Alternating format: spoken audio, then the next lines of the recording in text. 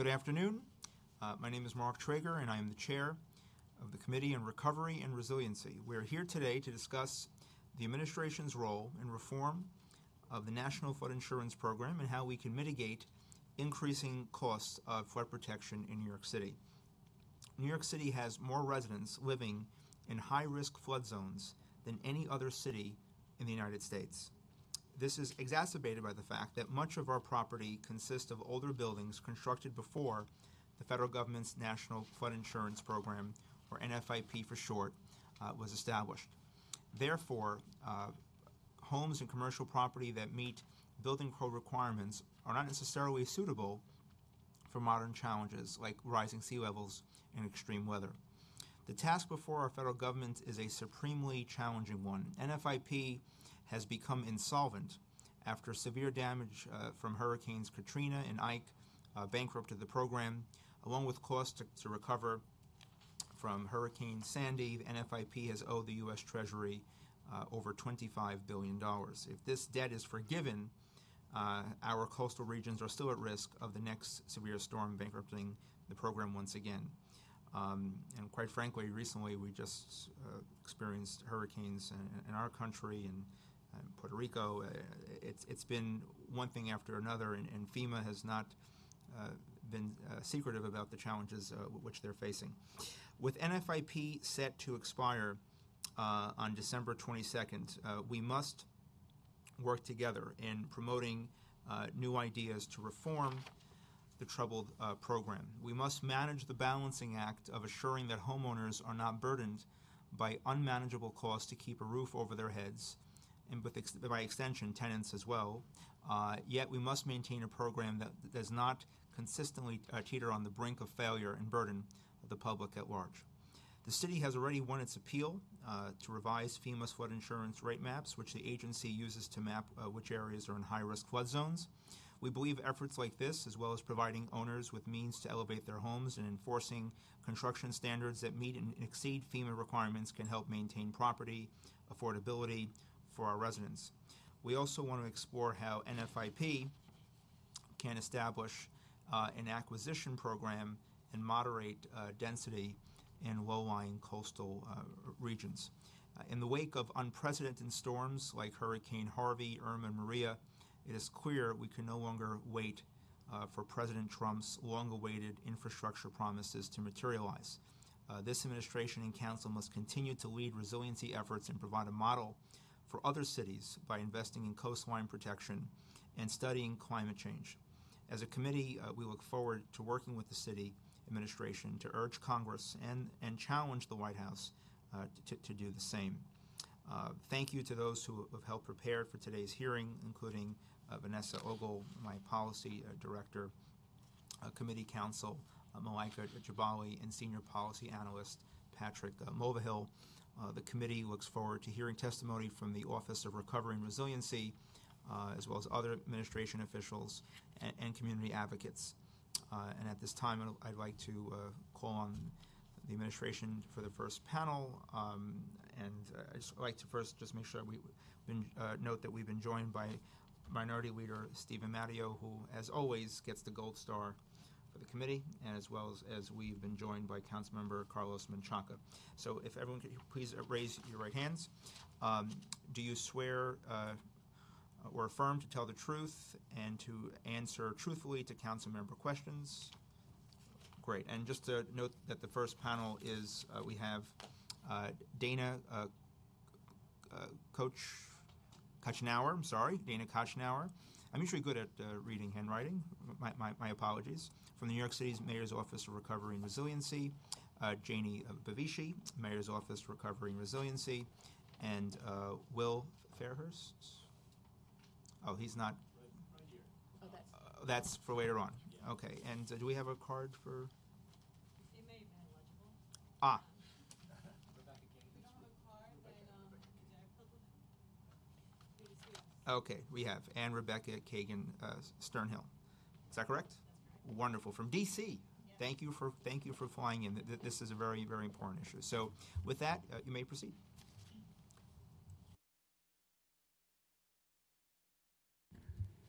Good afternoon. My name is Jainey Bavishi, and I'm the Director of the Mayor's Office of Recovery and Resiliency. ORR is pleased to participate in this hearing about the National Flood Insurance Program reauthorization and preserving flood insurance affordability in New York City's flood zones. I want to thank Committee Chair Treyger, as well as the members of this committee, for the opportunity to discuss the city's efforts thus far. I am joined here today by my colleagues Rebecca Kagan, Deputy Director of the Mayor's Office of Federal Legislative Affairs, and Dana Kochnauer, Acting Deputy Director of Buildings at ORR. Back in June of this year, ORR came before this committee to discuss one, the reasons why flood insurance affordability has become an increasingly common topic of frustrations, frustration for residents in the flood zone. Two, key actions the city has taken to fight for flood insurance affordability at the federal level. And three, what we can do to help ensure residents will continue to afford their flood insurance in the future. We are pleased to be able to continue the conversation with the committee. I would like to reiterate that ensuring residents in the floodplain are prepared for coastal storms and rising seas through tools such as affordable flood insurance, as well as neighborhood scale coastal pro- protection systems, are a prior- priority for the de Blasio administration and are key initiatives un- under our multi layered One NYC resiliency program. The city has been engaging with both the House and Senate since early 2016 to advocate for reforms to FEMA's NFIP. The city held meetings with key offices in both chambers to lay out our reform principles and to help decision makers think through potential policies. We have worked closely with Senator Gillibrand's office to help craft their reform legislation, ensuring that there, are, there remains a consumer centric focus and that FEMA reforms simplify the program and consumer engagement with it. I will let Rebecca Kagan dive into the specifics of the city's work in Washington on NFIP reform, but I want to underscore that our approach to advocacy has been rooted in cutting edge research. In February of 2015, ORR commissioned RAND to explore options to preserve flood insurance affordability. The findings showed that the cost of flood insurance is already burdensome for about one quarter of households in owner occupied one to four family residences and much more burdensome for lower, lower income households. Our work also recommended a means tester, tested voucher system as a way to ensure that NFIP remains affordable not only for low income New Yorkers, but for all low income Americans that need flood insurance. I am pleased to report that Senator Gillibrand's bill, which Rebecca will discuss, includes the city proposal. Locally, New York City is, manage, is working to manage its floodplain to reduce risk beyond advocating for NFIP reform. Since Hurricane Sandy, the city has been working urgently to ensure New Yorkers in the floodplain are better equipped to deal with increasing flood risk with a broad range of resiliency tools, such as upgraded building and zoning codes and improved policies and programs. New York City's flood resilience zoning text encourages flood resilient building construction through specific parts of the floodplain by removing regulatory barriers that hinder or prevent the reconstruction of storm damaged properties. It also enables new and existing buildings to comply with new higher flood elevations issued by FEMA and to comply with new requirements in the New York City Building Code. The city is also leading a comprehensive community planning effort in 10 Sandy impacted neighborhoods to better understand how we can continue to improve upon zoning as a resiliency tool. In October of 2016, New York City reached an agreement with FEMA to revise the city's flood maps, which uh, Councilmember Treyger alluded to in his opening remarks. The revised flood maps will provide our residents with more precise current flood risk data, in addition to providing a second map product reflecting future conditions that account for climate change. The innovative revisions will assist New York City in making coastlines more resilient and climate ready, while ensuring homeowners do not have to purchase more insurance than their current flood risk requires. Last week, New York City met with FEMA Region 2 for the kickoff of the remapping effort. New preliminary flood insurance rate maps are scheduled to be released by 2021. New York City, in partnership with New York State, administers buyout and acquisition redevelop- for redevelopment programs. These programs are designed to offer owners of properties affected by Hurricane Sandy the opportunity to sell their property. Through the buyout program, the city aims to improve the resiliency of the larger community by transforming parcels of land into wetlands, open space, or stormwater management systems, creating a natural coastal buffer to safeguard against future storms. As the city's flood maps are being revised, it is crucial that New Yorkers remain aware of their current and future flood risk. To ensure residents keep their home and finances safe, the city has launched a consumer education campaign directing flood, uh, directing residents to floodhelpny.org, a one-stop shop for flood risk information. Public outreach is ongoing, and as the revised flood maps come in effect, additional extensive outreach and education programs will be provided for all communities. In conclusion, I would like to thank the committee for this opportunity to provide an update on the extensive work this administration has done to reduce flood risk for our residents. I will now turn the floor over to Rebecca Kagan uh, from the Mayor's Office of Federal Affairs. Good afternoon, and as Jane just said, my name is Rebecca Kagan Sternhell, and I'm the Deputy Director and General Counsel of the Mayor's Office of Federal Affairs down in Washington, D.C. Uh, I want to thank you, Committee Chair Treyger, as well as all the members who are here today for the opportunity to discuss NFIP and our efforts down in Washington to protect not only our constituents' homes, but their wallets as well. So New York City has been engaging on the NFIP reform since the moment HIFIA passed, or Homeowners Flood Insurance Affordability Act of 2014 passed in April of 2014. Following that fight, the city began to look at how implementation of the law would affect the city and what additional reforms were needed. The city engaged with homeowners, local organizations, um, and other jurisdictions throughout the country to develop a set of principles around NFIP reform.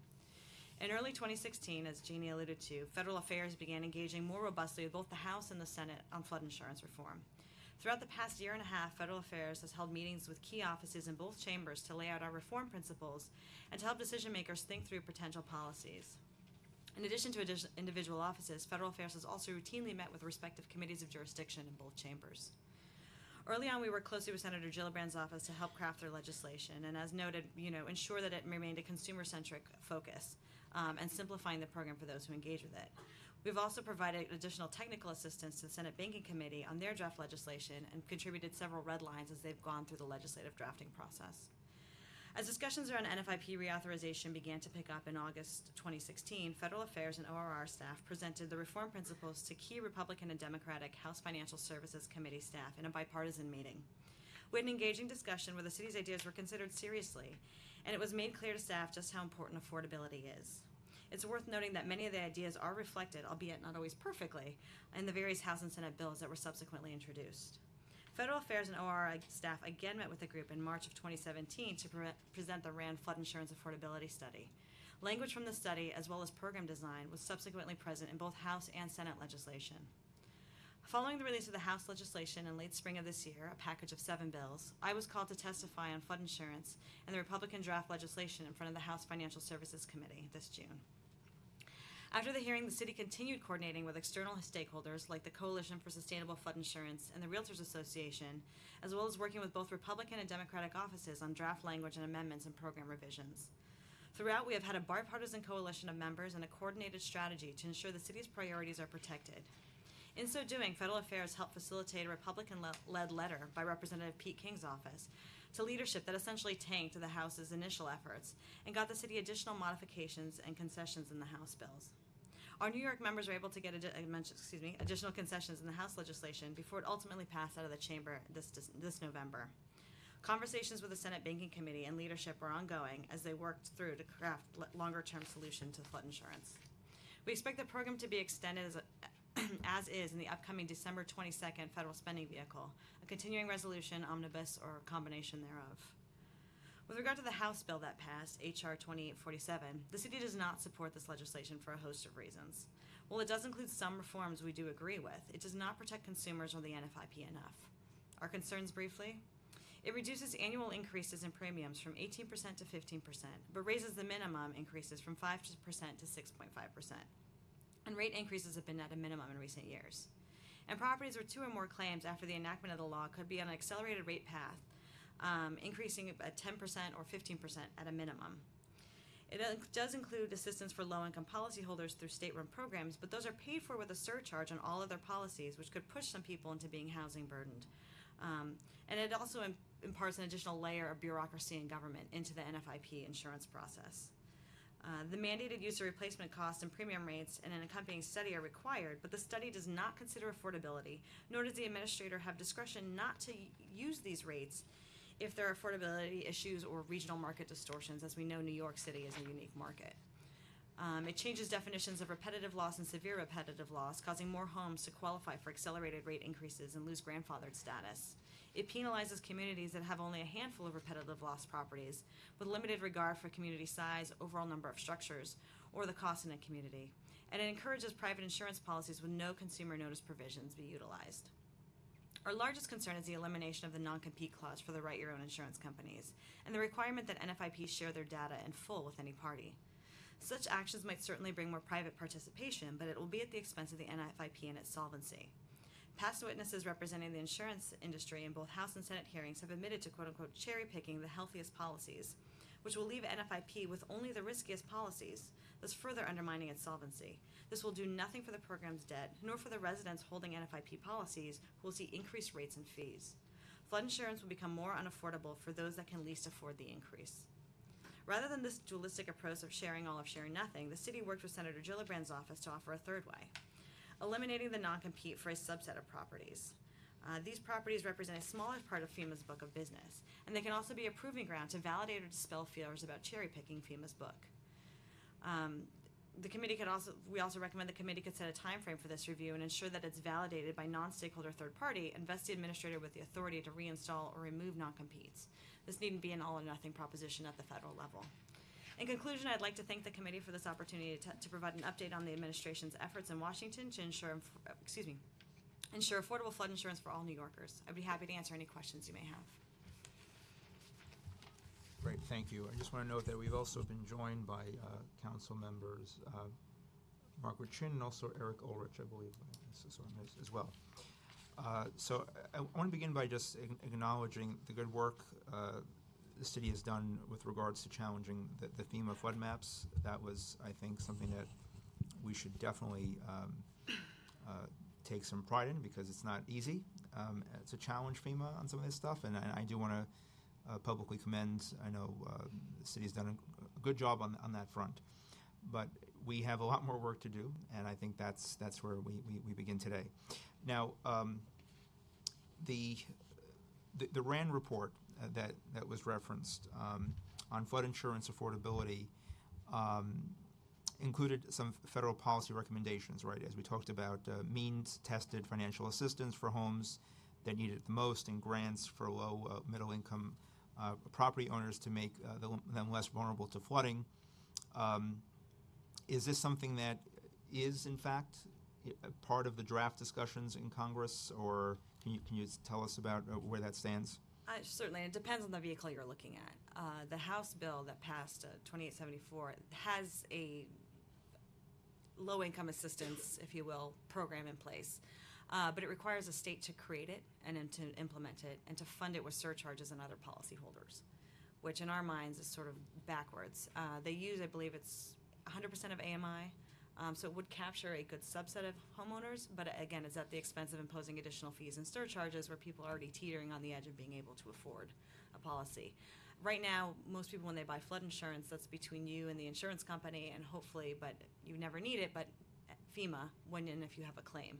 This would now also insert the state into that relationship, just making the process more complicated. And as we know, in a post Sandy context, flood insurance is too complicated as, as is. So, in that sense, yes, there is a program, but I would scarcely call it that because of sort of the small number of people it would capture, certainly in our region, and then sort of the how infeasible it technically is. In the Gillibrand bill, there is a program that's modeled after the RAND one that would provide means tested vouchers based on what is called the PITI ratio. And I'll turn to Dana to explain some of these um, terms.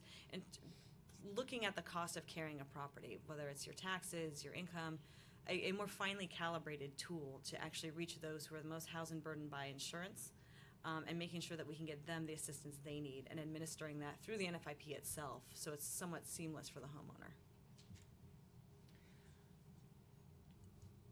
So I can just explain uh, the PITI ratio that Rebecca mentioned. So that is a calculation based on um, the principal, mortgage principal, um, the interest, the taxes on the home, and insurance costs. Um, and the way that RAND determined was uh, if your PITI ratio was 40% or higher of your income, that pushed you into what they called housing burdened. Right. And so that was the House version, is that correct? The, the House version did not have this. Did not have this. Gillibrand bill The- did have this. Okay, and are they, uh, can you tell us the, st- the? The status of the legislation Right, generally. Right, So the, the House has passed this legislation. It was almost uniformly opposed by all the Democrats, um, all the regional Republicans, with the exception of Mr. MacArthur um, from Long Island and New York and New Jersey, opposed the legislation um, because of what it would do to sort of our communities. Currently in the Senate, there are a number of bills that are out there. There's a Menendez one, there is a uh, Gillibrand Cassidy bill that I mentioned. There are a couple of vehicles. At this point, committee is looking to draft an additional bill. Uh, no one of those pieces of legislation is going to go wholesale at this point, based on conversations we've had. It will be sort of an amalgam of some of the good parts of all of them. Uh, I don't expect that to happen before the end of the year, just given the other things going on in Washington and the accelerated timeline.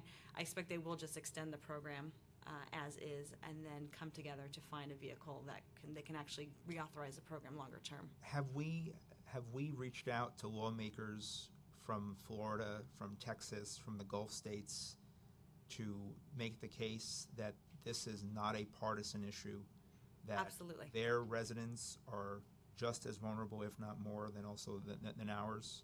And can you share with us your discussions with lawmakers from both sides of the aisle from, from these states? Certainly. So we partner very closely with GNO Inc., or Greater New Orleans Incorporated, and they uh, spearhead the Coalition for Sustainable Flood Insurance, which is a nationwide coalition of jurisdictions. Uh, so we've worked with Garrett Graves' office, we've worked with other members from Louisiana, um, uh, Republican and Democrat, to sort of push this issue. Steve Scalise was helpful, um, who was the, the uh, Republican whip, in helping get some of the concessions for our various regions. Um, so through that coalition, we've worked together and then have gone to meetings ourselves uh, throughout New York State with Republican offices, Democratic offices, throughout New Jersey. Uh, so we've worked very broadly um, at the city level and then also with our coalition partners to make sure that everyone is hearing from us. And have they been receptive? I think they've been very receptive. There is a cost consideration with much of this. If you want to be doing an affordability program, there's a cost attached to that. There are pay-go rules within Congress that if we want to use money for that, we have to cut it from somewhere else. Um, there's various factions within Congress that would, you know, love us to not do anything and would love to roll, as the quote, quote Jeb Hensarling, I'd love to just th- roll up this program and get rid of it. So fighting all those forces, how can we best sort of protect homeowners within that sort of dynamic where you have people who want the program to go away in full, people who are trying to do something, people who are trying to do something but are fiscal hawks about it. So again, it, it is a dance we are doing. We're trying to work with a broad base of uh, Republicans and Democrats from across the country. I think there is a recognition the program needs to exist. There's a recognition affordability is a huge problem, that this is going to continue to get worse. Um, but it's how we get to that point and trying to ram through a bill nobody wanted in the House um, is now kicking it over to the Senate, which I think is taking a more nuanced look at this. So I, I'm cautiously optimistic. And, and it's not, something. you know, the reality is these natural, uh, you know, events, whether it's hurricanes, flood, flooding rains, uh, fires, the, the deadly fires we see in Cal, this is not going away. It's it's going it's getting worse. So I, I just and and quite frankly, I, I'll, I'll again I, I've said this before this committee. I'll say it again. Uh, you know, New Yorkers uh, stood with uh, Texas uh, and, and Florida, of course, and Puerto Rico and the U.S. Virgin Islands during their during their challenging times.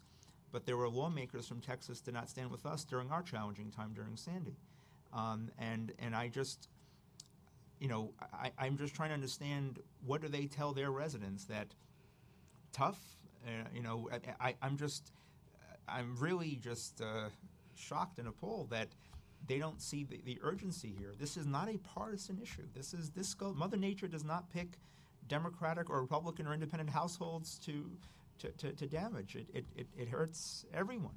And so I, I'm just, I, I don't, quite frankly, understand this logic. But just to give context to the committee and, and to those who are watching, and uh, there are, we, do, do we have any uh, data on how many NFIP uh, policyholders we have in New York City? Do, do we have that data with us? Just to give scale to the size of this problem. So as of 2017, we have around 55,700 NFIP policies. So over 55,000 New Yorkers have NFIP policies. and that's across all of the zones. So that's in the moderate zones, the X zones, as well as the high risk zones. And you anticipate that that number will grow once FEMA finalizes its, its new flood maps. Is that correct? Well, if our high risk zone expands, then the mandatory requirement will Because be in place. right, because there were folks that lived in Zone B in New York City, and they were flooded during Sandy.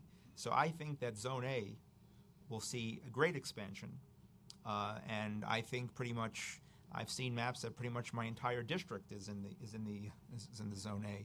So this is a, a growing, already a big issue, and a growing issue affecting thousands and thousands of people. It will affect even thousands more.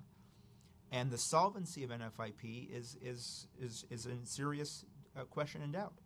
You have all these disasters happening across the country, and they pull from the same funds. Um, now, and is it correct to uh, to say that the the House bill and the House efforts are geared towards privatization? Yes. I think that certainly uh, from Mr. Hensarling and from the House Republican perspective, yes, their goal was to try and get more privatization within the program. Um, and Which means, I think in your testimony, you mentioned that that's going to lead to cherry picking. Yeah, I mean, they, they've admitted as much that this is a business. Um, and so they are going to take the best risk because that is the best business decision they could take. NFIP exists because of a market failure stemming out of the 60s and 70s and the floods then. And it is there, uh, operated somewhat like a business, but there for you know the people who can't get insurance on the private market. And so if you have private insurance companies coming into the system, if you will, taking only the lowest risk or the healthiest policies, to use a healthcare analogy here, pulling them out of that risk pool, what NFIP is left with is the riskiest properties. Um, and from there, you undermine its solvency further because you were stuck with basically the sickest patients, if you will. Um, so for those reasons, we were vigorously opposed to this. You know, that's why we were trying to propose a way that we could test the waters on this, where you have homes that are severe repetitive loss, they're already paying risk rates.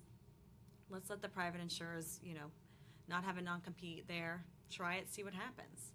If they're not willing to insure those people, you know what this is going to play out. They're going to cherry pick. If they're willing to insure some of them, Right. And, and, and that's in the private market. And when you mentioned that we have uh, 55,000 NFIP policyholders, that's under the NFA, uh, NFIP program. But then you have private institutions that provide flood insurance in New York City. Is that correct? There are there are some. It's mainly for commercial buildings. Is there any data on that you have with you? or? Um, we we do not because Right. it's because there is an impact on small businesses here as well. I mean, obviously, our, we want our residents to be uh, safe and secure, but small businesses are equally a part of our community, and that's a, a, a big issue for, for them as well. Um, has there been any uh, conversations in Congress, whether the Senate or the House, about um, acquisition programs assistance as well? Because if their argument is, and I've heard this argument before, and I'm, I'm, I'm aware of it, that taxpayers are being asked to pay to repair or to rebuild properties that are known to be in uh, you know flood zones or, or vulnerable areas. Well, in the city and the state, they started uh, the, the buyout program to those property owners that were willing to, to participate in certain uh, areas.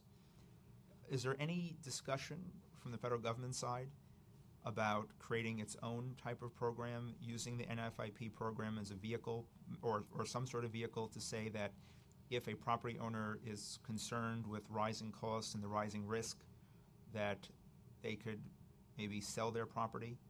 to a limited extent. I, I think it's certainly something that's on the table, and I've certainly heard it in various conversations and in meetings. The difficulty comes in, and some of the things folks are having to work through is one, the cost, because it's not sort of just New York City, it's nationwide, and what that cost would be. We certainly would hope that if you were going to acquire, you'd pay fair market value for a property uh, Right. to do right by that homeowner. Um, so you're reaching into the billions and billions of dollars at that point. And again, just with the nature of Congress these days and how you budget for that for new spending, we have to cut billions and billions of dollars from somewhere else. It's not something like in a disaster where you don't need to offset that money, which is how the city and state has been able to do it in that limited context so far. This would need to have a pay for elsewhere. So there's that issue. There's the second issue of who then takes the property once it's been acquired. So does the federal government hold the property? Does the locality? Does the state? Um, those answers can be better or worse depending on where you are, sort of within the country. Um, Well, if- and if you use their logic, they like to give power back to the states and communities. So it should definitely, uh, you know, I mean, obviously, I think that we need to beef up our resilience. And if these are properties that are already prone to, to, to, to risk, you know, to, to other types of things, then we need the locality should work to build up its resiliency, and, and I think that's, you know, following their logic. They always say give power power back to the states and to the cities. Is that correct? So that's. It is, but not with money. I'm sorry. Is this by the way? The city does have its own buyout program, and can you just share with us what we're doing with properties that we, we are purchasing? Uh, it depends on where the properties are. Um, in some cases, uh, we are converting them to open space or helping to improve waterfront access with those properties. Um, in other cases, if they, for example, um, uh, are adjacent to the, the Blue Belt in Staten Island, um, they're being converted to wetlands for that purpose. So it really depends on where the properties are. It's on a case by case basis. And, and are there conversations about like a community land trust or? We are thinking about um, how you know how we would administer a buyout program in the future if um, if we were to uh, do this again, um, and those are conversations that we'd like to explore further through the Sandy Recovery Task Force that uh, you've championed. Right, and, and I appreciate that. It just the one thing I I will note is that not every community was initially advertised the option for buyout. That's something I, I did speak to Director Peterson about in previous hearings. That there was a focus uh, in a few neighborhoods in the city, maybe Staten Island and parts of Queens, but certain folks in my area were never really told about that uh, until now. But now it's kind of at the end of the end of the game. Uh, so, uh, but I, I think it has to be on the table because if, if they are worried about cost and, and they and they seem to be concerned about budgeting wisely, um, natural disasters are here to stay. They're getting worse, so the cost in the long run will far far exceed the initial cost up front. So I mean, I, again, I, I was I was not a math teacher. I was a history teacher, but I, I think I know I know the math on, on this one. Um, the other end of, of, of, of dealing with this is that is the city, you know, having conversations with our state partners that if Congress does not act in terms of providing assistance to folks who will be mandated to purchase flood insurance, particularly my concern is definitely with the new maps that are, that are set to release at some point with FEMA, thousands of New Yorkers will be mandated to, to purchase flood insurance, which they're not right now. And it will not be cheap. Um, are we having conversations or any types of contingency planning if the federal government does not act, does not assist, does not provide these types of subsidies? What we're going to do to help provide assistance to, to the most vulnerable families? Our current focus is on the um, on, on the National Flood Insurance Program reauthorization and really advocating that Congress act. Uh, we think that's where the responsibility lies. But um, uh, we're you know we're several years away from from new maps, um, so we have other we have more time to to think about other options. because in those coming years, we're going to face more pressing budget decisions. You know, everyone's anticipating that uh, the budget will get, you know, more more tight uh, in coming years, and, and due to the fact of, of the instability in Washington, and, and so uh, this is something that we have to be very gravely concerned about. This I, I don't want to just kind of punt this to three, four years down the road when I think we need to start planning planning now, because again the most vulnerable communities are not just vulnerable to climate change and rising sea level, but we're, we're vulnerable to financial displacements, for displacements of people that just can't afford another bill. And that's, and also, we, we've been mentioning homeowners, which is obviously a big issue, but many of them have tenants, and those costs get transferred to them.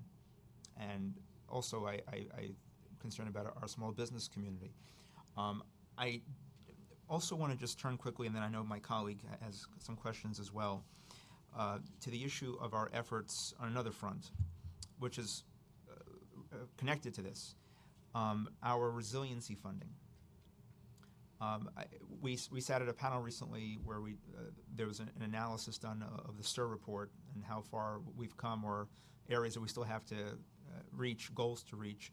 I mentioned that the former mayor's STIR report uh, that was adopted by the current administration was more of a vision rather than a plan because a lot of parts of the visioning said subject to funding uh, and it will be finished by now, which obviously is not happening. Um, are we having conversations w- with members of Congress? And also, New York is very fortunate to have uh, uh, leader uh, Senator Schumer. Uh, he has been a champion for us, I know, in many, many ways. But are we having conversations about trying to uh, push infrastructure in, in, to shape the infrastructure bill to include resiliency funding? Because, for example, I know that the, the the Big U project in Manhattan, which I've called more of the half a J, because because of the funding reality. It's not every not every piece of that plan is funded. I, I, think, I think we acknowledge that. Am I correct? Yes, I mean, I think there's still, and and Jainey can speak to this better, there's still Right. certainly funding needs for, across resiliency projects within the city. Uh, with regard to infrastructure, the, uh, the senator put out a, a broad plan, I believe it was earlier this year, that resiliency was a component of that. You know, with an eye towards the future, that if we're going to build, let's build smart. Uh, so resiliency was certainly a part of that. At this point, um, I know that folks are working on drafting the larger bills, and that, that will be a Democratic product. I understand that there'll also be something, whatever comes out of the White House, um, that may or may not have a resiliency component attached to it. Uh, the big question mark as well is what happens in terms of funding there. You know, initially they were saying uh, $1 trillion, and then they started to walk that back. Uh, so we have considerations there. We also have considerations, and I'm digressing here slightly, with tax reform and what that will do for some of our ability in terms of bonding um, and financing tools available to us currently, what the ripple effects might be, uh, especially as we now turn our eyes towards an infrastructure project and what we're expected to be doing. Uh, so there's a number of sort of balls in the air, if you will, in terms of how we can deal with funding. While at the same time, we're still now going to be in a, a season of additional supplemental appropriations for the disasters Hurricane Harvey and Maria. And certainly Puerto Rico has some dire needs just for basic infrastructure, let alone other resilient buildings. So we, we've made our case. They're aware that we still have needs here. Um, you know, we don't want to say this is why we can't have nice things. We don't want to just build half a J. Uh, we'd love to build a full U.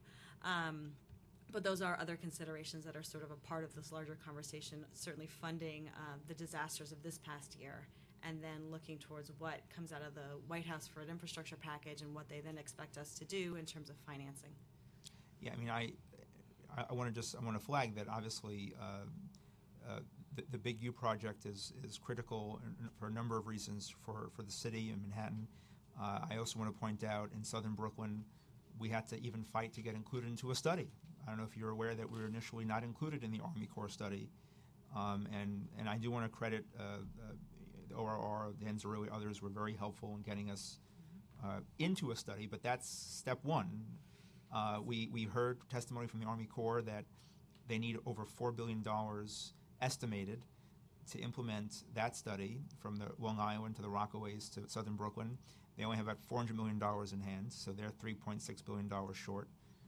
Uh, do, you know, do you have an estimate of how much we need for the Big U? No, we currently do not have an estimate. We're still uh, developing concepts for how, um, how we might protect uh, the very dense urban uh, landscape of, of, of Lower Manhattan. It's a, um, a complicated area in which to um, build coastal protection. And so we're engaged with the community in developing uh, concepts at the moment. Yeah, I mean, I would say that, and I'll turn to my colleague, but I think we need to start getting estimates in place now because I think we have to package our priorities to Congress as soon as possible. I, I, I am getting the sense that the infrastructure bill is taking shape at some point next year. Well, again, I understand that Maybe. their, their, their priorities change uh, with a single tweet. Uh, so I, I, I, I get that Yes. but I think we, we need to just prioritize what, what's important to us. And these are areas that are vulnerable for, for a number of reasons, and, uh, and, and, and the sheer density of the population in these areas are just, it's an incredible, incredible sense of urgency here. Um, and uh, so I think we're, we're, we're, short at least $3.6 billion in, in my neck of the woods, all the way to Queens, and, and I'm sure that the, the members of Congress in Long Island are also concerned about this. Uh, we're short in Manhattan, where I think we're short in. I mean, I know that uh, there was a study uh, how to have a backup generation for Hunts Point, which is about half of our food supply comes from that location. I think there were there was some funding there to kind of make it more resilient, but I'm not sure if they need more more than that. So I, I- just think that we should be packaging our priorities right now to prepare uh, to, to, to provide Senator Schumer's office and others. My office has engaged these stakeholders. We've had meetings, and I thank you for coming.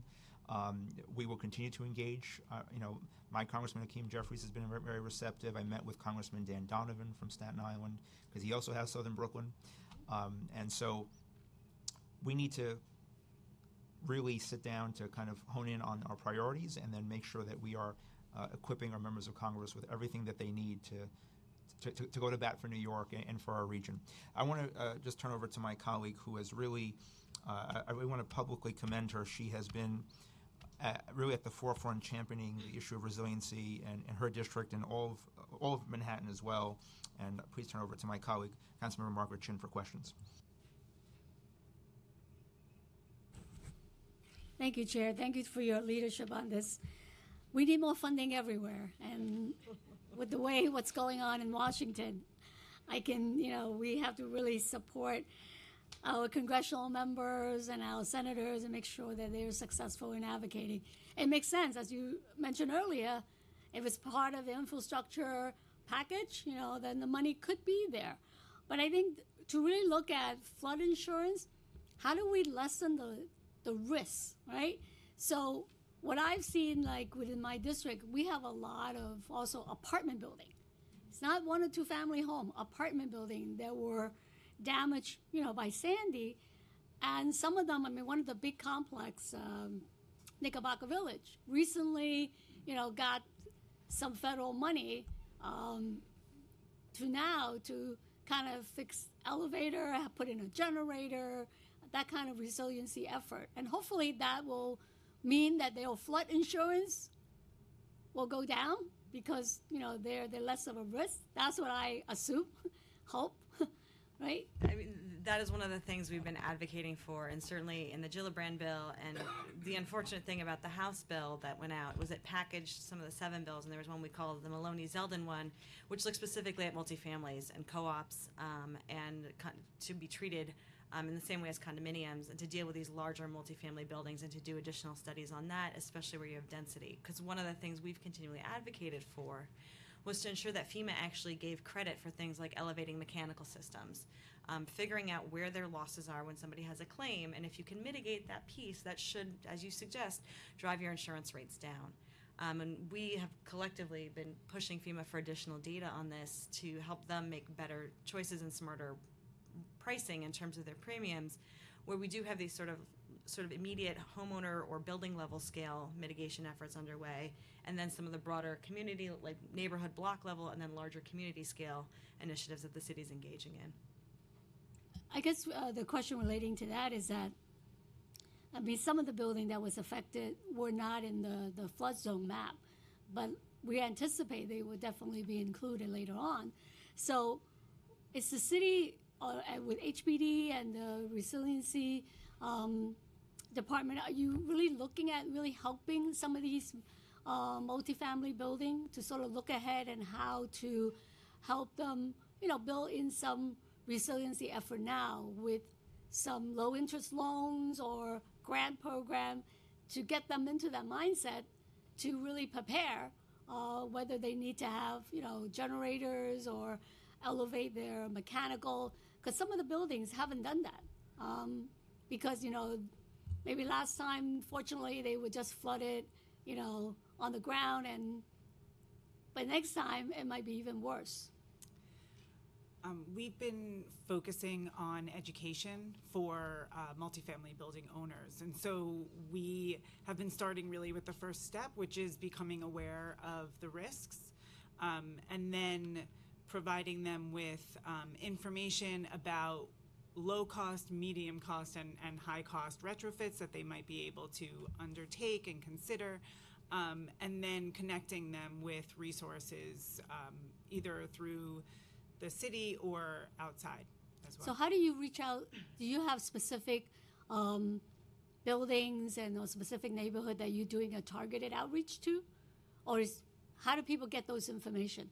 We've been working with, um, we have worked with HPD has a uh, training program for uh, property owners that we've been working with them to integrate uh, resiliency content into that training program. We've also been working with the Office of Sustainability's Retrofit Accelerator, which focuses on energy efficiency. We've been working with them to build in resiliency content into some of their program, um, as well as a uh, filtering system for when they're when they're wor- working with their buildings. They're also looking at are they in the flood zone? Are they going to be um, impacted by flooding. And then we also have been partnering with enterprise community partners to do some outreach. Um, we we've been targeting um, not only the city's floodplain because we are looking at a, a multi-climate hazard. So we've really been trying to target um, citywide. Um, just one last suggestion is that I know HPD is working with the affordable housing uh, stock. You know, they, they work with a lot of nonprofit, and it's really it makes sense for them to reach out to them and and kind of like get them on the right track in terms of resiliency work. But what about also working together with other agencies like the Department of Finance? Because in part of my district, I have a lot of small property owner, um, like for example in Chinatown, Little they don't get this information, and maybe the city needs to proactively sort of reach out to them through when they get their property tax bill, you know, give them some information about how they can maintain their building and make their building more, you know, resilient and what programs are available so that there's a more of a proactive uh, approach to get to these property owners because they really don't know what's available to them and how to help them prepare, you know, from for the ne- next natural disaster that they'll be they'll be okay. I think that's a great suggestion.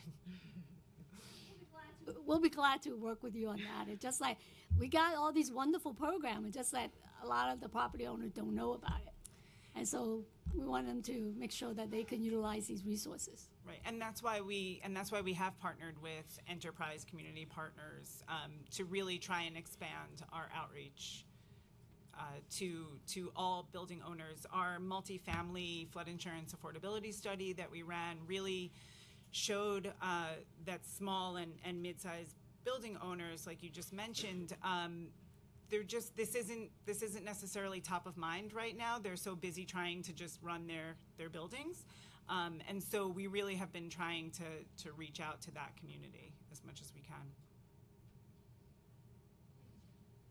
And uh, another big resiliency advocate and a champion for his district, uh, Councilmember Menchaca, has some questions. Thank you, Chair, and uh, and really every member of this committee has been so great, and um, we're really thankful for your for your testimony and your work that you're doing today. Um, and I want to just echo that um, the statement, but also the continued cry for more for more funding. Um, and I will be introducing a resolution soon, uh, just for the council to uh, affirm that want need here in the city, and so that'll be coming soon. Um, but I'm kind of curious now a little bit more about about the outreach that's happening, and really trying to understand the goals that are being set, if any, about how how how you're reaching any kind of goals on outreach uh, for uh, uh, small family homes, apartment complexes, uh, co-ops, and you there's a there's a there's a need to go citywide, and you've, you've kind of mentioned that as well. Um, how are you me- measuring success in, in that outreach?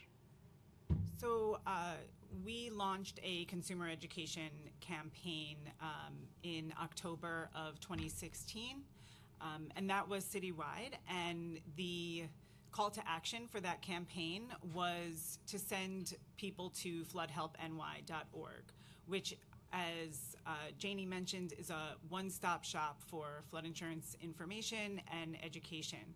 Um, we, the way that we measured that success was by how many people visited the site, and um, in the time that that campaign ran, it had increased visitors to the site, um, I believe, by 90% over the previous three-month period.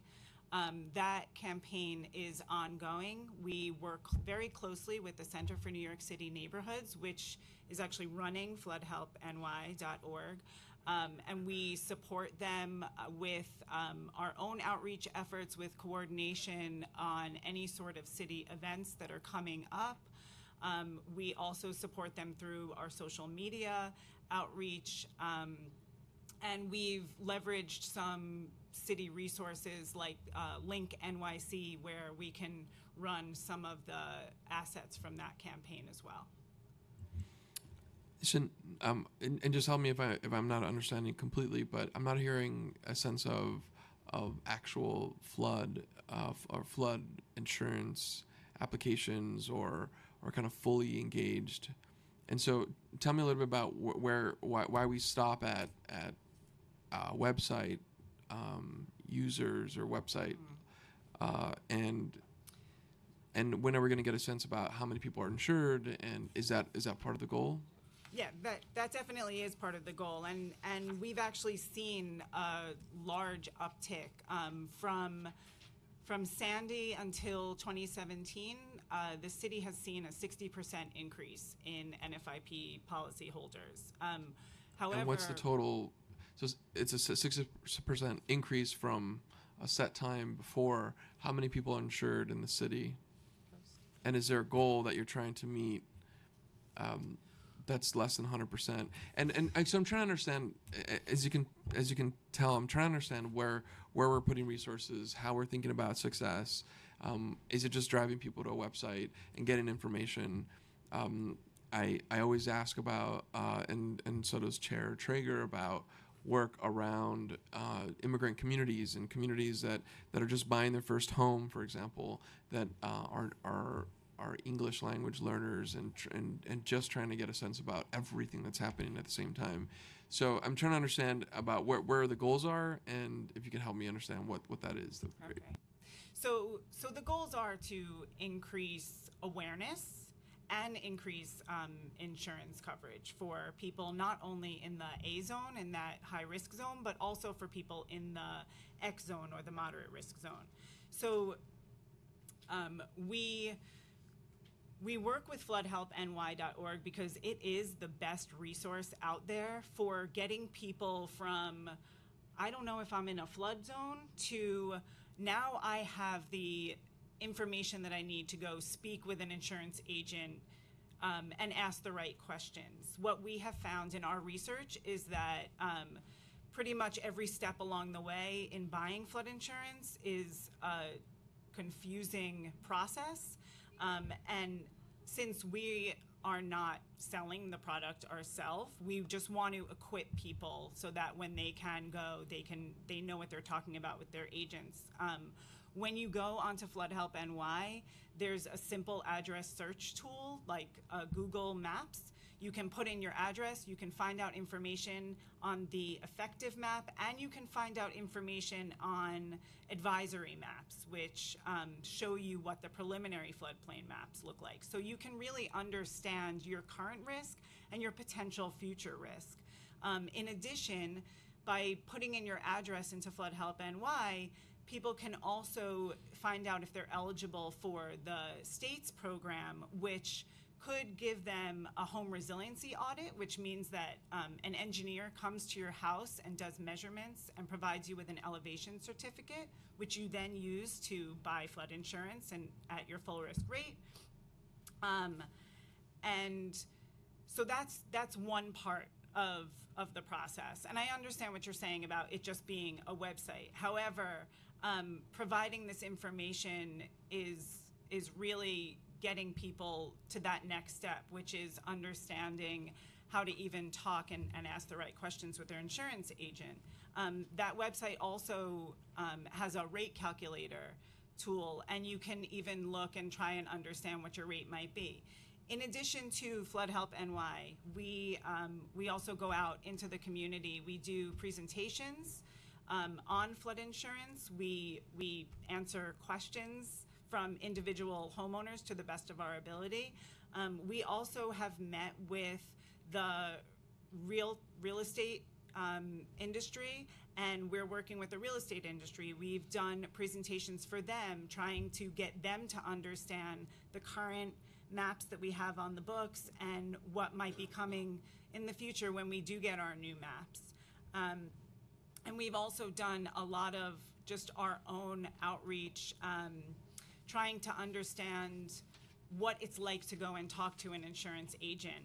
Um, and we had done some mystery shopping a little while ago, which which has informed a lot of what's going on at the federal level. Um, when people are are trying to get quotes for flood insurance, they're getting different rates, um, which again is why we think it's so important that people really understand what what they're talking about when they go and, and speak to agents. Um, and we are working on doing outreach in multiple languages to really try and reach all of the communities um, around. And and I, I noticed that the site only has an, a Spanish option, doesn't have um, Chinese or any other options as well. So we're uh, and it's it, and it took a click to get to the Spanish Right. piece as well. I, I just want to uh, kind of give you a, a kind of general. Uh, if, if our goal is to, to really bring people through a process of understanding and and I think it said it was said multiple times that this is a very confusing process.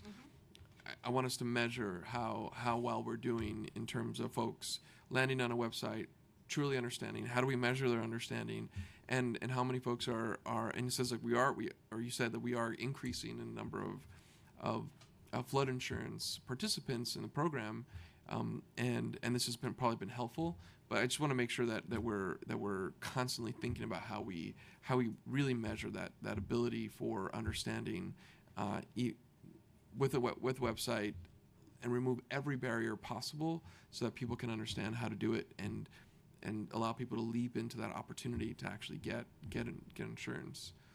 And we were really lucky this year that we didn't we, we didn't have a storm and but we're going to go right back into that uh, that trajectory uh, in a few months. And so uh, anyway thank you for for giving me the, the full the full scope of work that you're that you're working on. Thank you. Thank you, Council Menchaca. And just for clarity, uh, the NFIP program isn't for everyone, is that correct? Can you tell me who is eligible to be uh, included in the NFIP program and who is not? Uh, the NFIP ensures those who are in the zones, mapped zones of any sort. Um, any other homeowner could have purchased private flood insurance um, as well. Um, but the NFIP also does not insure homes built over water. Uh, But is it for just, uh, It's available for everyone. as far as multifamily dwellings? Yes, they have a multifamily program. All right, so there is? Yes. So co-ops, The issue we have with co-ops is that because they are a business, they have to get a commercial policy as opposed to insure condos can insure individual units like homes, if you will. Co-ops do not have the same ability to do that, and so we are working to rectify that. That's something that started under Steve Israel uh, shortly after Sandy, and that is ongoing. is that a part of the, of the discussion now? Yes, very much so. And do you feel that there's any traction? I do. Uh, Mr. Zeldin took that up in the House. Uh, Senator Gillibrand has taken that up, um, and through all my conversations with the Senate and throughout, people understand that this is something that needs to be addressed. So this change would allow co-ops uh, to be included in, in the NFIP program, and would it also allow them to receive FEMA assistance? Is that I'm going to correct? make a correction here. It- Please. They're already allowed in the NFIP program. They are have- allowed. But the building itself as a business, as a commercial policy, not Right. as a home policy, But can individual shareholders? cannot insure their individual units They- at present. They cannot. They cannot. We are working to change that. Hmm. The same Now- way co-ops are treated as businesses in the event of a, dis- a storm, and with how FEMA treats them as businesses as opposed to residential buildings. Because I, I've heard from some co-ops that they can't even purchase flood insurance. No one wants to insure them. That might be, um, it might be that their, their homeowners insurance is selling them not an NFIP policy. That might be a different, But are, are you? Because this is not from individual. These are. This is from the board. The entire board would like to purchase flood insurance for their buildings, but they're getting resistance from the private market. Ha- have you heard this? From the private market, Correct. right? NFIP is not the private market. Correct, but I'm, I'm just saying, but they they they claim that they could not get through to NFIP either. I don't have an answer for that in this. I don't, I don't know enough specifics. But, I mean, I- is, it is available for co-op buildings. Maybe I'll follow up with you about this particular property. But um, as you mentioned, the private market does already cherry pick to some extent. Is that correct? Correct. There's nothing currently prohibiting the private market from entering and selling flood insurance anywhere in the country right now, barring whatever a state regu- insurance regulator says. They uh, do not have such clear, clear it's not perfectly clear to banks that they can accept a private policy if a home has to, a mandatory purchase requirement. Um, so what they really would like is to have perfect information and to be able to have all the past claims data and all the past history. Um, and that's what we talk about that information sharing. Because currently they have a non-compete with themselves. State Farm can sell you NFIP, but they can't just sell you private State Farm flood insurance. They would like to be able to take all that NFIP information and sell you a State Farm product, product that competes with the NFIP product. Is there a consumer watchdog that makes sure that people are not being overcharged with flood insurance payments? Because according to advocates and studies, about 80% of those New Yorkers who are paying flood insurance right now are, are overpaying. And they don't know it because their insurance carriers are using old, outdated FEMA uh, information. That's why we're pushing for these um, free home resiliency audits so they can get the uh, free uh, elevation certificate that could offset their costs. Is that correct? And but who is the consumer watchdog to inform people that they're overpaying? The, the difficulty with some of this is that some of these homes have been in the program and are pre-firm, so built pre-1983 within New York City. Right.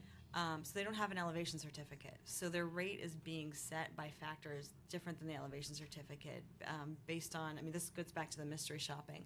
Um, the elevation certificate is sort of the gold standard for knowing exactly where you are relative to where the you know flood the base flood elevation is, excuse me. Um, and so if you don't have that, they use other factors based on, you know, sort of what you tell them and characteristics about your home to give you a rate. And then you can be within that rate. The problem is it costs money to get an elevation certificate. And that's why we have this program to help assist people get them. Um, so that's why perhaps you could be paying less and you don't know. There's also a chance you get the elevation certificate and you should be paying more. But we're finding, according to, to studies, that most are, are paying more. That's because the pre-firm subsidized rate is a one-size-fits-all rate. It's not based on the individual property's risk.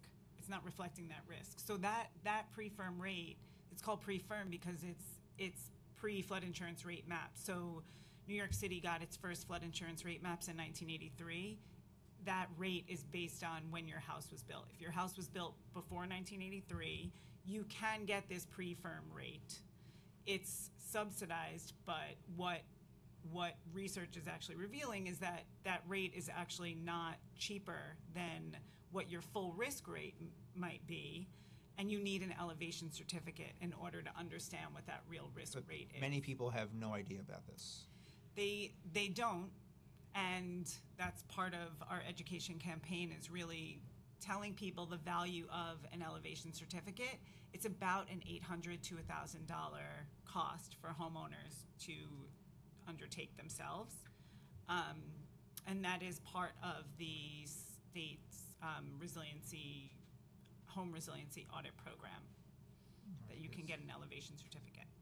because I, I, I do have a bill that's being worked on in the council to certainly inform people of this, but also to try to provide assistance to, to uh, moderate low-income families for because, as you said, this is not a cheap uh, Yeah. piece of paper. Um, now I know that the NHS uh, with the New York Rising program is doing the free resiliency audits in certain areas. They're expanding. We, we work to get them included beyond, but I think we still have a lot more work to do, especially once FEMA does finalize these maps and more people will be will be uh, mandated uh, to get uh, flood insurance.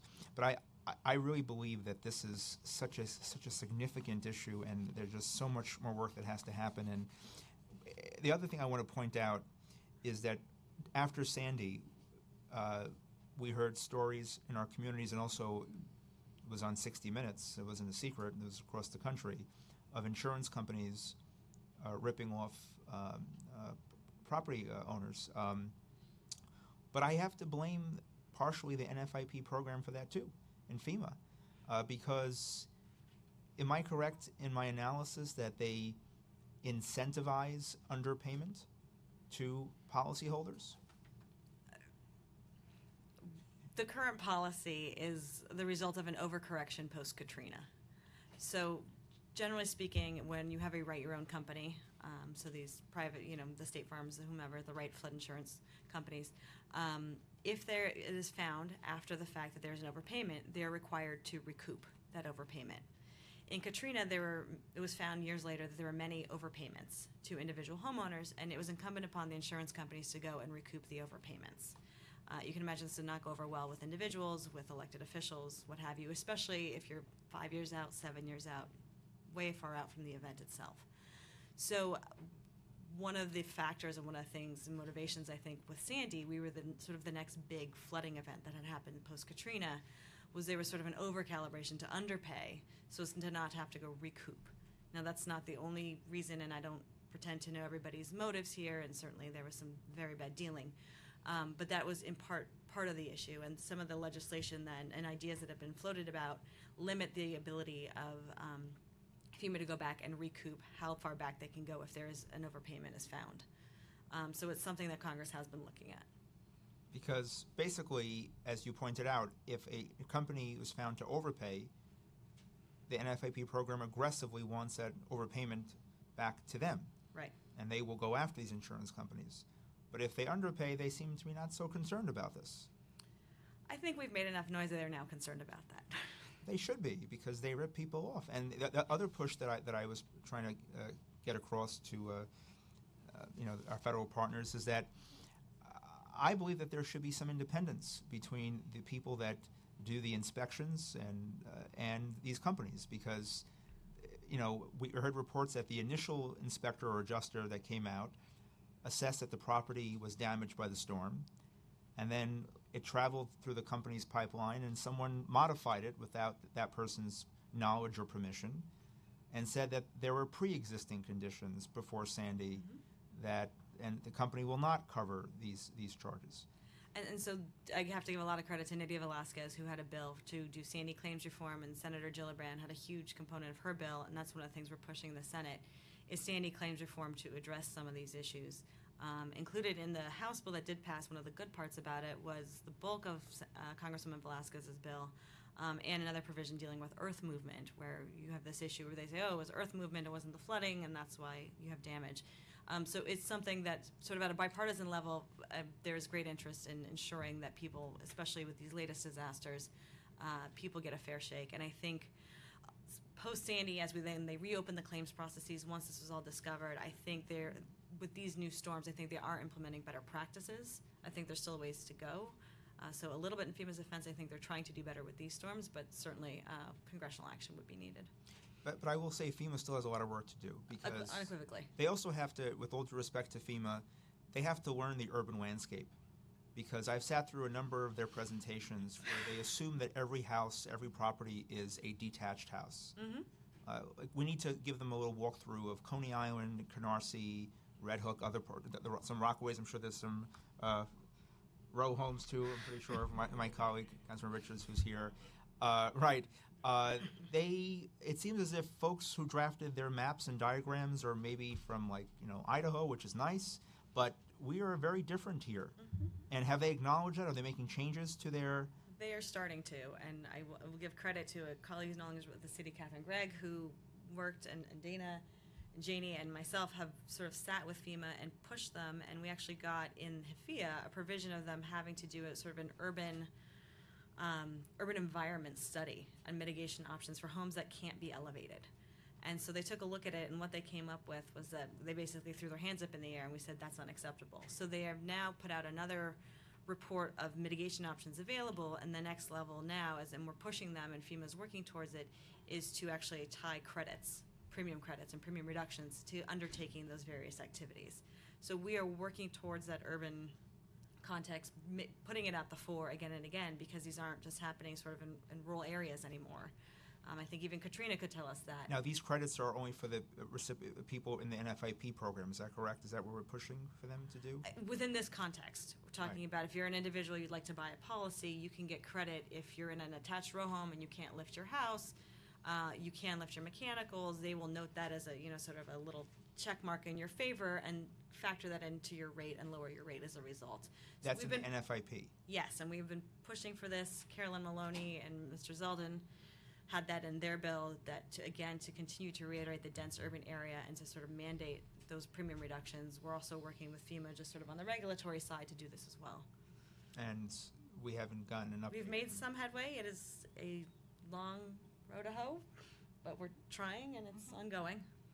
it's just it's fascinating that and, and my other issue with FEMA because I, I, you can see I'm uh, well versed in this based on based on uh, a lot of years of dealing with folks from my district and others that have gone through literally so much on this issue. But when they do calculate their payouts to people, um, when people have to provide them uh, with s- with the list of items that were damaged or lost, they base their estimates for you know for, for the uh, for, for, for the reimbursements on products and goods that might be cheaper in a different state, but are certainly not as cheap or not cheap at all in New York. Have they acknowledged that? Somewhat, and this gets to some of our concerns with the replacement cost value that the House proposed, where in some ways that might work well, but in high-cost jurisdictions like ours, there might be distortions. And there was not that consideration for them to not use those types of rates in terms of setting your premiums based on what they think the replacement cost might be. Um, because we look so different, because the costs here are very different than if you're buying in Iowa or if you're buying down in Louisiana. Um, so they're beginning to look at that. I think there is a renewed focus as well on having adjusters from a region as opposed to folks parachuting in from, say, throughout the country. We still, obviously, in a disaster, need people to come from all over to assist. But I think they are looking more towards um, having local knowledge available to sort of be that front line of responding with claims. And I appreciate that you mentioned that because there are people that came from other states to New York. But then the other problem is they don't stay here very long because many of them want to avoid New York taxes. So they might stay here for like six to nine months because I think it's, it's built into our laws and rules. If you're here for a certain amount of time, you have to pay New York taxes. And so I know this personally because some folks are working on in, on a Seagate application for, for sewer damage. The FEMA person was there for a while and then is gone because of tax reasons. So have you heard this? I, I have not. I, I can't speak to that. Yeah, we have a lot of work to do with our federal partners. I mean, it, it, it, it really was stunning to me that how what, what a lack of understanding at the core of the urban landscape, from not realizing that we have row homes, from using really just out of whack cost estimates for products uh, for the cost replacements, tax rules, tax policies, you know, it, it, there's really a lot of, lot of work, work to, to be done. I, I want to just uh, conclude by I don't know if my colleague, oh, Councilman Richards, you have a question or, uh, but I, I want to um, just conclude by going back to packaging our priorities to Congress with the infrastructure bill. I, I just want to make a comment, and I'll just ask for you to comment on that. I, I think it is critically important that right now we prioritize what we need from Congress as far as spending on, the resiliency front. And I think there needs to be a, a full engagement plan with uh, officials, uh, community organizations, community boards, as local as we can get, uh, to have meetings and, and discussions about uh, to help shape our priorities and go back to Congress and to say we need these things funded simultaneously, we have to make sure I learned through presentations, as you can tell, I've been through a number of meetings and presentations, that an Army Corps project might not necessarily align with NFIP standards to reduce flood costs. Is that correct? It may not necessarily, we are working diligently with them to ensure that, so for example, the Staten Island seawall will meet our NFIP standards. And so there, I think there's a renewed focus. There was a push to do that. Correct. I, I think we are a teachable moment in many ways with Sandy and what we're doing. Um, and so I think there is a renewed focus and interest on, on doing this and getting it right. If we're going to spend federal dollars, let's make them work hard. Are there any restrictions that you're aware of from Army Corps and FEMA communicating to make sure that the projects are aligned? No, there are no restrictions. No. So it just some stuff seems to be so much common sense and just doesn't seem to be happening. So uh, because that's another concern I have is making sure that we are protecting, uh, you know, life, property, but also affordability, and that's the urgency of these of these of these projects. And I, I'm also a little bit concerned that we don't have yet an accurate or, or an up to date estimate of how much we need. I do think we need to work through that. Uh, I mean, I have an estimate of how much we need for the Southern Brooklyn study, and also I'm not even sure if that includes the. I think it does include the Coney Island Creek study as well, but as far as the Manhattan side, as far as uh, I'm sure o- other parts of Queens projects, uh, the Bronx, and others. Um, Staten Island, I'm not sure if there's any other additional studies. I, I, I know that the seawall is funded from the federal, state, and city. Um, but let's engage with officials at the local level. Uh, let's engage uh, our community boards. Let's engage our residents, organizations. Let's help shape the priorities, and then let's fight like hell to to get these funds from, from Congress and, and to be a part of an effort to work with our federal partners. And, and again, I, I would be more than happy to work side by side with. Uh, I'm not sure if there's a recovery resiliency committee in any cities in Texas or in Florida or others, but would be happy to work with them uh, that funding for their localities as well. This is a national this is a national security issue. This is not just this is not just some minor stuff. And so, uh, can you commit that that we will uh, you know engage officials, you know, our state, city partners, community boards, or local organizations to help shape the priorities and try to find a find find a, an engagement plan to work with our federal partners to help shape this infrastructure bill, which which we hear is coming next year. Yep. I mean, we certainly have enough information to put together those cost estimates that you're talking about to engage in this advocacy. And we welcome, we're, we're certainly prepared uh, to fight and advocate to get as um, much as we can to um, solve these difficult and expensive challenges that we face in New York City, and certainly welcome the partnership of um, elected officials and communities in doing Right. so. And I appreciate that because a lot of conversation has been, which I, and it, these are tremendous issues as well, I'm not minimizing them. Obviously, right now, uh, we have many serious concerns about the current tax bill that's in Congress, which does have severe consequences for our, for our region. There's no question about that. We're also in a transit crisis where we need, we need, quite frankly, federal dollars to help us deal with our transportation network. There's no question about that as well. But this is a part of our infrastructure too. This is we can't treat these things in isolation. They, they are all intertwined and interdependent. So um, I I commit. Our committee is stands. You know, we're already working. I, I'm already meeting with everyone that will meet with me uh, uh, about this, and I just we, we, we have to raise the noise level. But I also want to make sure that communities across the board are engaged, and uh, you know, from every level and also every language and, and every person. We- We need to we need to help help shape this. Um, and if there's if there are no other questions, I thank you for your work and let us know how we can be even greater partners with helping you make the case in DC. Thank you. Thank you. Thanks so much.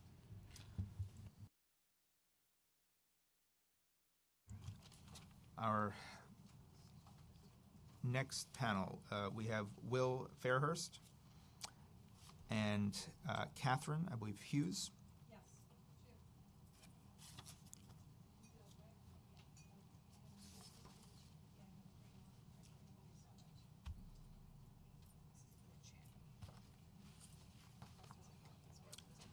Thank you.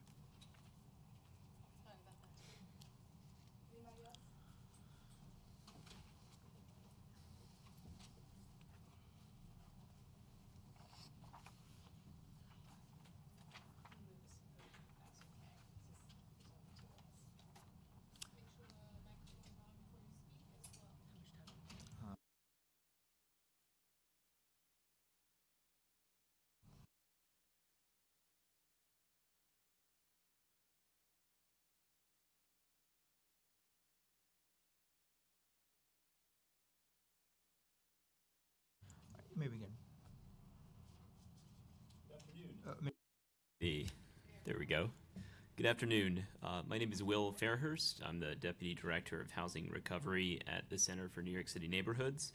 Uh, I just want to thank the committee chair, Treyger, for holding today's hearing on housing affordability uh, and flood insurance, and we're definitely happy to be here for the opportunity to testify. Um, so, background on our organization the center promotes and protects affordable homeownership in New York so that middle and working class families are able to build strong, thriving communities. Established by public private partners, including the City Council, the Center meets the diverse needs of homeowners throughout the New York uh, City and state area, offering free, high quality homes, uh, housing services. Since our founding in 2008, our network has assisted over 55,000 homeowners. Uh, we provide approximately $33 million in direct grants to community based partners and we've been able to leverage this funding to oversee another 30 million in indirect funding support. Uh, major funding sources for this work include the New York City Council, Governor's Office of Storm Recovery, Office of the New York State Attorney General, along with other public and private funders. Uh, the city's focus on flood insurance and housing affordability began around the time of Hurricane Sandy.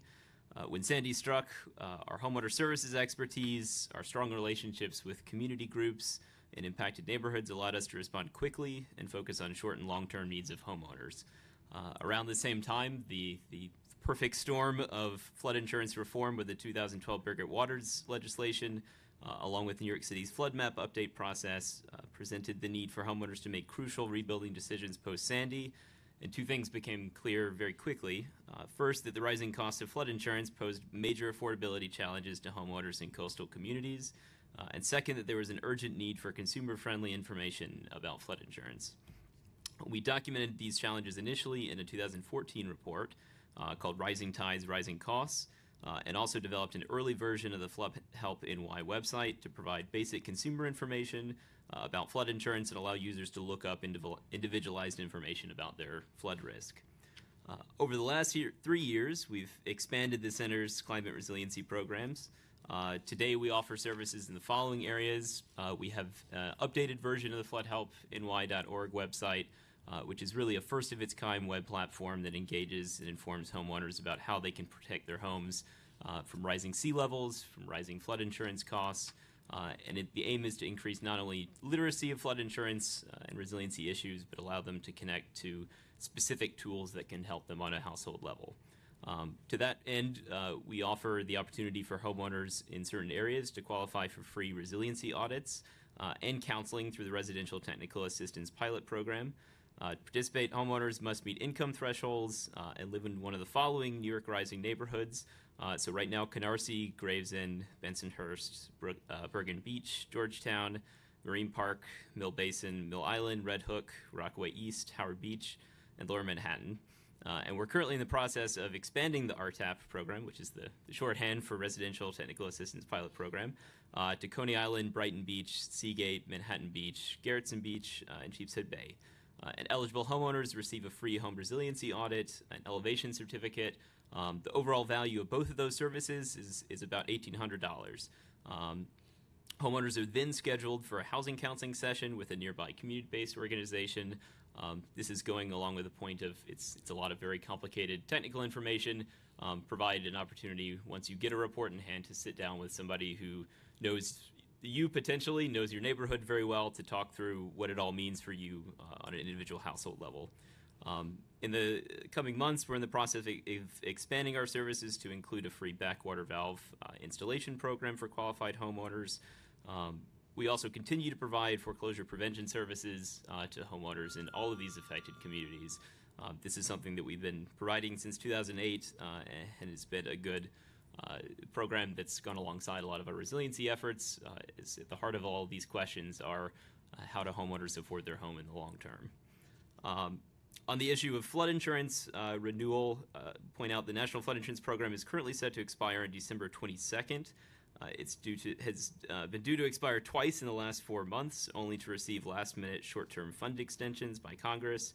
Ultimately, Congress must pass a long-term extension of NFIP that contains policy reforms that uh, we've been talking about today already. Um, such an extension has already passed the House. Now the ball is in the Center's court. Uh, so the Center for New York City Neighborhoods certainly supports uh, a long-term NFIP extension. Um, we will be looking for something that promotes flood mitigation efforts, uh, ensure that flood insurance uh, is available uh, and easy to understand for consumers, uh, and ultimately also improve the NFIP claims uh, claims process so that property owners receive full and fair payment uh, of the claims that they pay each month their premiums into. Um, so we also believe that flood insurance must remain affordable for New Yorkers, both to encourage participation in the program uh, and to avoid overburdening low and moderate income property owners. Um, going back to the, the study that the city had done previously, um, the RAND study of one to four family homes found that 25% of homeowners in the floodplain currently struggle to afford flood insurance costs. Uh, this is the number that could increase to 33% when New York City's maps are updated. Uh, unsurprisingly, lower income homeowners are significantly more likely to struggle with the cost of flood insurance, uh, and two thirds of extremely low income, very low income households face unaffordable rates. Uh, and as we mentioned earlier, measuring affordability at the, the 40% uh, housing debt to income ratio. New York City's neighborhoods are highly susceptible to flood insurance rate increases uh, because so many of our structures were built long before we adopted modern floodplain management techniques. Um, many of our buildings were built before 1983. Uh, these are known as the pre-firm buildings. Um, a lot of these buildings now pay these subsidized rates. Uh, what that means is uh, a lot of folks were locked into flood insurance before really the data was available on just how risky these households were. Um, and one of the impacts also of the expanding floodplain is that the neighborhoods that weren't in the high risk floodplain before uh, didn't have to have that data uh, on just how risky their home was because um, the ocean ultimately didn't demand it. Um, now that it's becoming riskier to, to live in these neighborhoods, uh, a lot of the efforts about getting homeowners to not just learn about the process but also get elevation certificates is really a very helpful data gathering effort uh, from a policy perspective of understanding just how risky a lot of these neighborhoods are. Uh, and then on an individual level where you can really take that information and know, you know, that my risk translates to costs of, of a precise value. Um, so I would say thanks to uh, the city's persistent lobbying efforts, we've succeeded in pushing back a number of proposals uh, recently that would have significantly raised insurance rates for many New Yorkers. Um, these included eliminating the grandfathered rates for properties uh, that are newly mapped into high-risk flood zones. Um, so essentially not penalizing people who uh, moved into a place before it was risky, and then environmental changes resulted in it being risky um, to allow them to not be penalized for those changes uh, as we think about ways that they can make their properties more resilient. Um, also pushing back uh, proposals to impose a minimum annual rate cr- increase of 8% for subsidized rates uh, and prohibit NFIP coverage for new construction in the floodplain, um, all efforts that we think would have threatened affordability in these neighborhoods.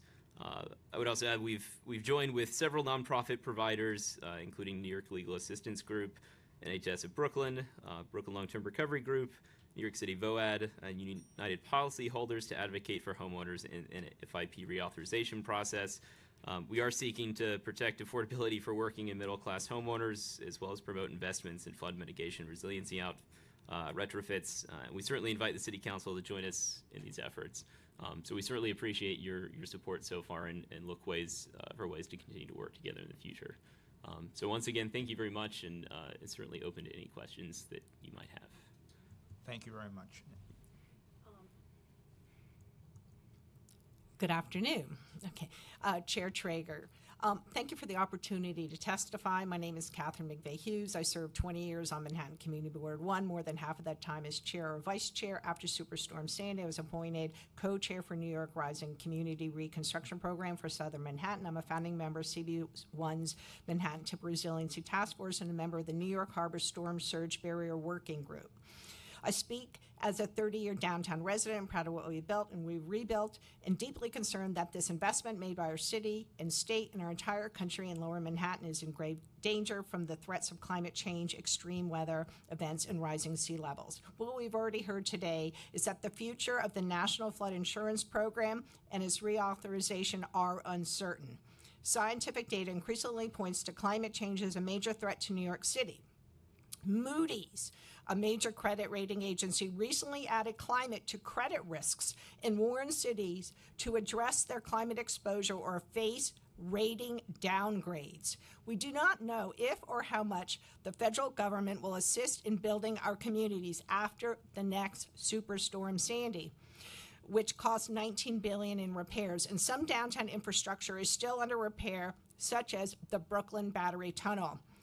The FEMA Flood Map Service Center is the official public source for public hazard information produced in support of the National Flood Insurance Program. FEMA's flood maps impact flood insurance rates and are often the basis for the design and construction projects in both the public and private sectors. Therefore, accuracy is critical. In addition to the cost of accurate flood disclosure in the residential real estate market was recently reported by the New York Times. Builders said their homes were out of a flood zone, then Harvey came. That was December 12th, front page uh, 2017. A recent Princeton University report stated that climate change will worsen inequality in our society if underserved communities become uninhabitable. Migration, some planned and some in panic, will stress already overburdened social welfare systems and infrastructure. The best way to mitigate these effects is to limit the greenhouse gases that are causing climate change.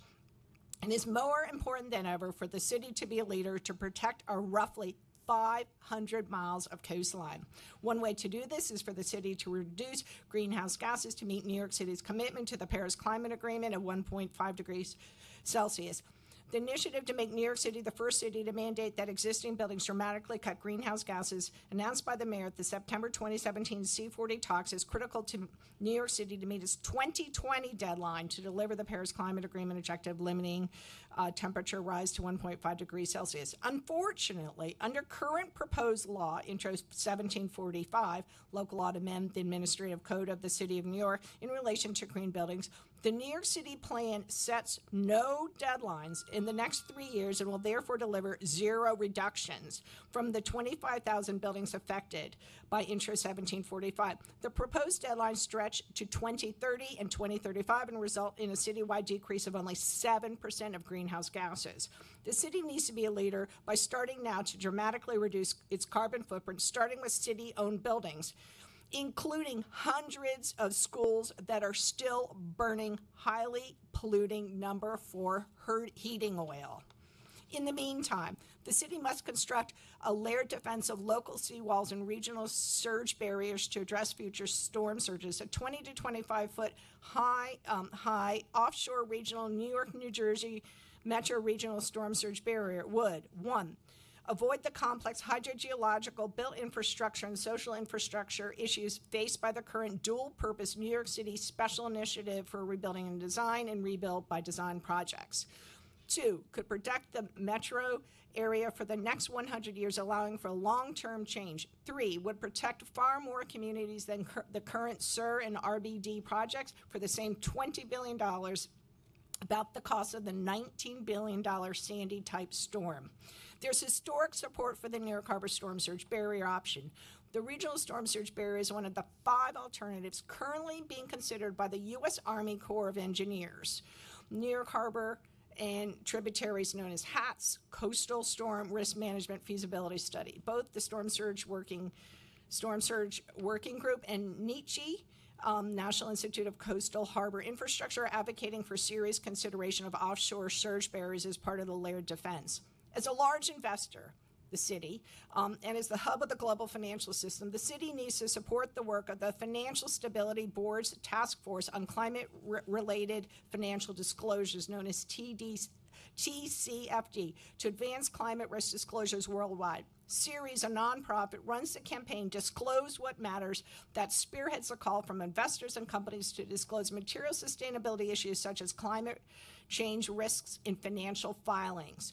Resiliency means much more than building walls at the waterfront. The greatest city in the world can overcome the challenge of climate change and show the way for the whole world. And I gave you a copy here, and I just want to make sure to draw your attention to the last page, the color of the map of you know the different scenarios. So if we lock in 1.5 degrees centigrade, it's the bottom chart is still pretty bad. And if and if we go beyond that to 4 degrees, 7.2 degrees, you see a lot more blue of underflooded area. So if, if you go back to the chart here, which is the official sea level rise projections for New York City from the Sabin um, Institute Center for Climate Change Law at Columbia Law School, you'll see the graph. Which scenario are we going to lock in? So it's not only just building walls, but it's also about you know making sure that we reduce our greenhouse gas footprint. And the chart above shows why we can't backload, but we need f- act now. Thank you so much for all your hard work on this important issue. I, I could not agree more that I know many people have uh, many ambitious visions, and I distinguish vision from plan. And then, I, as a former teacher, we had something called actionable goals, where you have measurements and benchmarks along the way, sort of like a, and and so that's what we need to apply here as well. And I, I could not could not agree more. And I, I would also say that you know whenever we we raise this issue, uh, you run into some folks who uh, uh, talk about economic anxiety about what that means as far as cost. And I think that you have spelled out with your maps that um, the cost that I'm worried about is that my entire district is underwater. and I'm worried. About, I love your district too. And I, I care about your your, your neighborhood as sitting in well. my I care about every neighbor of New York, but I'm just looking at your, your map, and all of almost all of my district is gone, and, and it's underwater. So that's the cost that we need to also really be thinking about. And also, I, I think, quite frankly, if we think more boldly, there is economic opportunity in this sustainability and resiliency push. And that's why, you know, I, a- at the micro level, I've tried to work with some, you know, local high schools and say, rather than uh, work on building old car carburetors, focus, let's focus on retrofitting your equipment to, you know, electric batteries and uh, more, more green infrastructure and to teach our, teach our kids and, and how to be be the people to to build them and to install them. I mean, so I, I think that you're absolutely correct, and there's so much opportunity weaved into this resiliency and sustainability plan. But time is of the essence. I, I couldn't agree more. And again, I, I thank you for championing uh, many of the issues, and I know that you put so much time and uh, also in your tenure in the community board, and uh, we can't thank you enough. Um, and I just want to confirm uh, what I've heard from other advocates with regards to flood insurance costs. Uh, we've heard from research that about 80% of those paying now are, in fact, overpaying. Is that consistent with what you're hearing and reading? There are certainly opportunities to overpay, and I think one of the more common sources of that are where people uh, had a grandfather's rate beginning in 2012 when they started stripping the subsidies from the program. Those rates started going up uh, at a fixed annual rate um, or a fixed annual cap. And so lots of people, uh, particularly who are in the current high risk flood zone, saw beginning at that time they opened their, their mail for renewal and suddenly their flood insurance rates have jumped up. Uh, if they don't have an updated elevation certificate, it basically means they don't know where it stops, and it means their insurance company doesn't know where what their full risk rate is, um, and so they might just raise their rate every year uh, until they show them that there's a cap that they should have stuck to. Um, so for people in the high risk flood zone today, which is the 2007 maps, um, if you get an elevation certificate, you can show your insurance company this is as high as it'll get.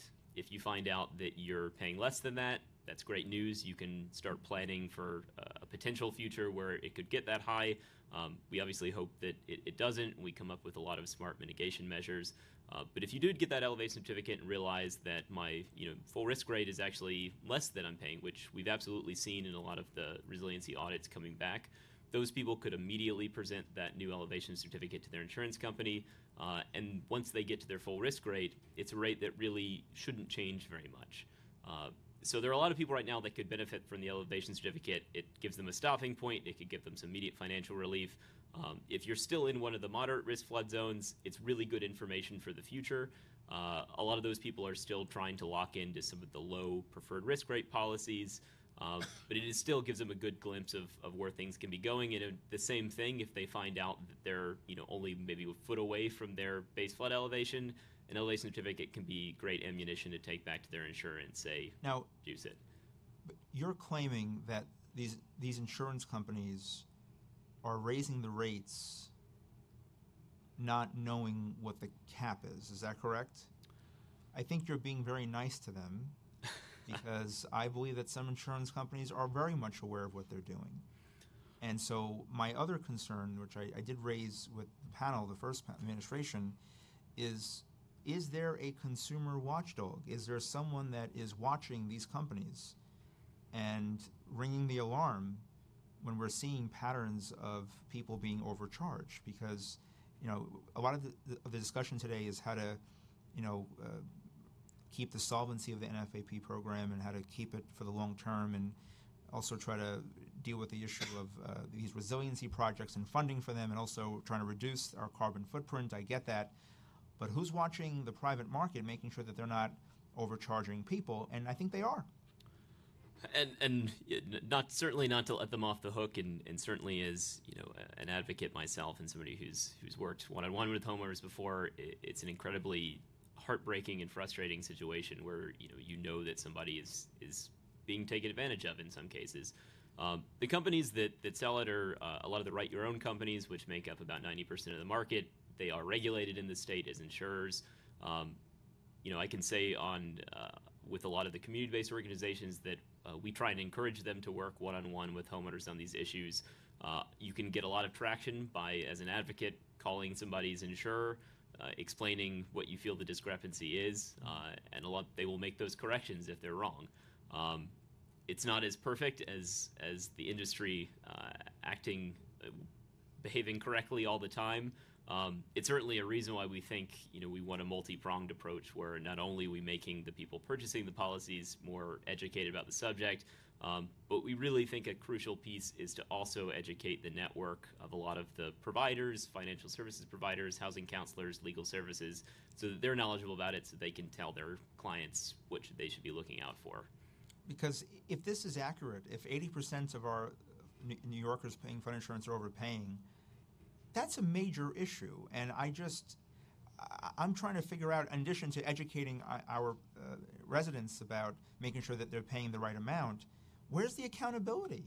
And where are the consequences for companies doing this? I mean, uh, granted, you're saying some of them might not be aware of the cap, and but where's the accountability? And and what can we do? Do you have any recommendations or suggestions for lawmakers on how to rein them in and and how to create a, more accountability in the system? Um, I- think we that's certainly something we a discussion we want to keep open because I, I think the more information we gather from uh, the types of of uh, abuses that homeowners see, you know, from their insurers, if they do get things wrong, um, a lot of what we get from these programs is a lot of that information which informs this conversation. Um, you know, right now, you if you do catch your insurer uh, giving you an incorrectly rated policy, you can get a a reimbursement within that policy term. That obviously means you need to be uh, quickly educated within your policy term. Uh, and if you find out that you were overcharged years ago, then you could be out of luck in some cases. Uh, I know that's definitely been a topic for discussion in a lot of the reform efforts uh, at how long that window exists for when somebody could be refunded for, uh, you know, a wrongfully rated policy. Um, but that window is, you know, I, I think we've certainly seen cases where we wished it was longer, and I think ultimately we want to avoid that to begin with. Um, so I, I do think you know we, we view there are multiple stakeholders on our side. We think that it is important for everybody just to know exactly as you said that not only are these problems out there, but they're really really large, um, and we really need to to make sure that uh, you know the community consumer focused advocates are really aware and make this a priority of. Now, are, are you seeing or hearing any uh, difficulty in property owners or business owners getting flood insurance right now? And do you, do you expect this problem to get worse? It, it is true, and what uh, you know to echo what uh, Representative from ORR said earlier. Everybody within New York City should be able to buy a policy. Uh, I agree. I've also heard that statement from homeowners before, saying that they called their insurer and were told that they couldn't. Um, it probably does get a little bit on a case by case basis why specifically they were given a reason for denial. Uh, for large commercial buildings, there is a cap on commercial coverage for NFIP at, at half a million dollars. So if you're a very large building, you probably are shopping in the private market, and, and that could be true. But um, I, I think to to the point, I, I think we we hear things. Uh, we certainly collected information of hearing things from insurers that we don't think are correct. Um, we encourage people to shop uh, between uh, NFIP providers in the private market, uh, and we encourage them to get in touch with one of their you know trusted advocates in the neighborhood because a lot of times um, people hear things that are wrong, uh, and, and it really is important for them to, to get together with an advocate and, and to try and educate themselves so that they, they don't get taken advantage of. Right, and I would just also, as far as education, getting the right policy and, and the, the right cost, but also understanding the policy, because we've also heard stories where insurance companies try to play games with defining what the hurricane is.